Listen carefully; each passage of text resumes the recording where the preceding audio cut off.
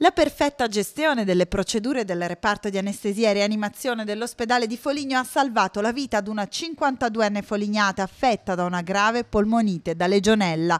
La notte scorsa i medici anestesisti, dopo aver monitorato le condizioni della paziente, hanno subito chiamato il centro Respira dell'ospedale Careggi di Firenze, uno dei reparti della rete nazionale specializzata nel trattamento dell'insufficienza respiratoria acuta, fornendo i parametri della paziente necessari per attivare la procedura di trasferimento.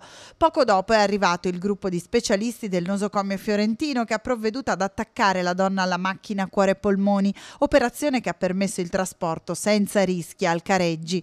L'intervento gestito dall'equipe del dottor Raffaele Zava del reparto di anestesia e rianimazione del San Giovanni Battista ha funzionato alla perfezione in tutte le sue fasi, confermando la validità dell'intero sistema di gestione dei pazienti con gravi insufficienze respiratorie. Si tratta del secondo intervento di questo questo tipo all'ospedale di Foligno. Lo scorso anno, infatti, un paziente affetto dal virus H1N1 venne salvato seguendo la stessa procedura.